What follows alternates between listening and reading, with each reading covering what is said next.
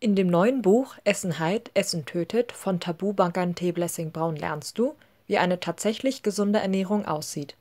Hierbei geht es allerdings nicht darum, konsequent auf alles, das dir schmeckt, verzichten zu müssen, sondern darum, was in welchen Mengen gut für den Körper ist. Besonders wichtig ist es Braun, dass jeder weiß, dass einige Lebensmittel sogar wie Medizin wirken können und daher nicht unterschätzt werden dürfen. Andersherum warnt er aber auch vor manchen Lebensmitteln, die in einem Übermaß sogar krebserregend sind. Ein sehr aktuelles Thema in Sachen Ernährung und Gesundheit ist Weizen. Auch Braun hat sich intensiv damit beschäftigt, wie der folgende Ausschnitt zeigt. Kapitel 1.3.2 Weizen Der Weizen der modernen Zeit hat nichts, aber auch gar nichts mehr zu tun mit dem gesunden Weizen von früher.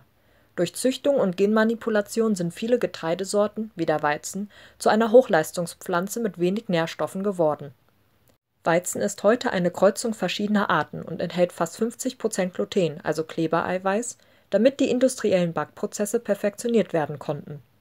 Noch vor 50 Jahren hatte Weizen nur 5 Prozent Gluten. Durch Gluten entsteht die Elastizität des Teigs. Ohne Gluten ist es praktisch unmöglich, die uns bekannten Backwaren herzustellen.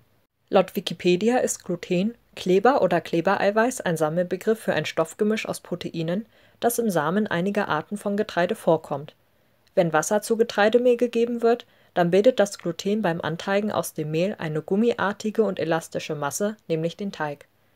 Der Kleber hat für die Backeigenschaften eines Mehls eine zentrale Bedeutung. Getreide mit hohem Glutengehalt sind Weizen, Dinkel, Roggen, Kamut, Emmer, Einkorn. Glutenfrei sind dagegen Hirse, Mais und Reis, Quinoa, Amaranth und Buchweizen. Getreide mit wenig Gluten sind Hartweizen, Hafer und Gerste die Industrie benutzt Gluten auch als Klebstoff und genauso verklebt er unseren Körper und verhindert so die Aufnahme von Nährstoffen. Das führt zu einem Nährstoffmangel. Die Folge für den Körper sind chronische Entzündungen, die wiederum chronische Krankheiten wie Krebs verursachen. Außerdem beschleunigt es den Alterungsprozess.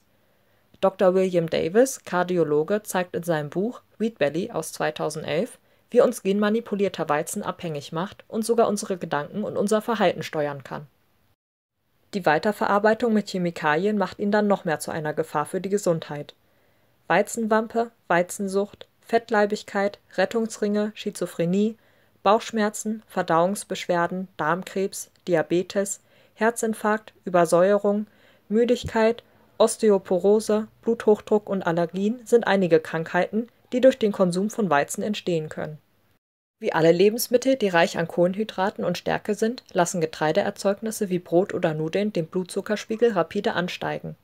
Daraufhin produziert die Bauchspeiseldrüse sehr viel Insulin, was eine vorzeitige Alterung der Zelle zur Folge hat.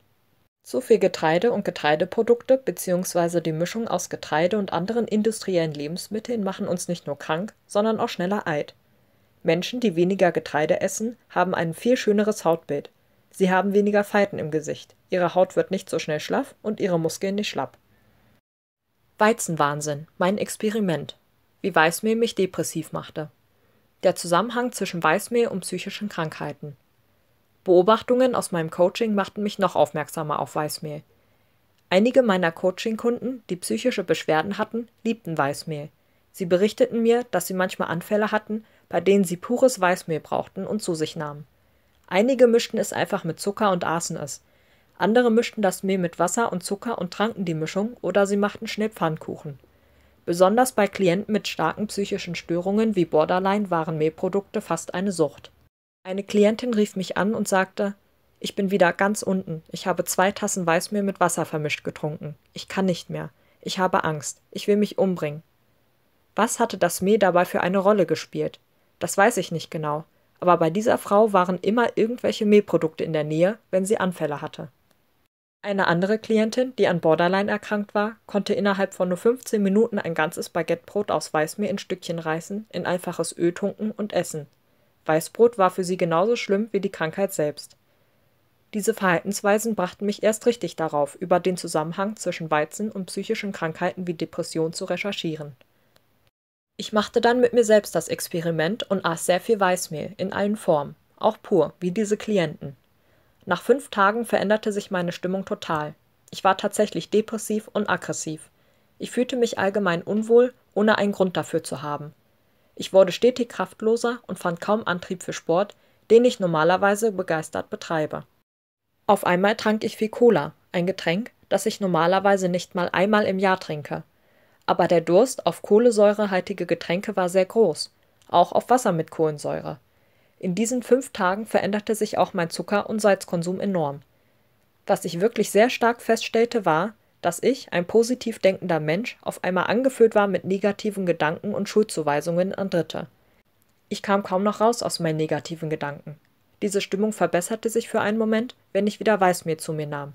Kurze Zeit später intensivierte sich aber diese Nervosität und dieses Antriebslosigkeitsgefühl dann wieder.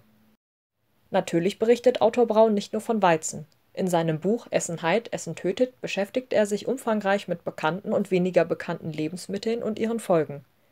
Wenn du also mehr darüber erfahren willst, dann kannst du dieses Buch ab sofort in jeder Buchhandlung kaufen. Natürlich kannst du es auch im Onlinehandel oder unter www.indai.de finden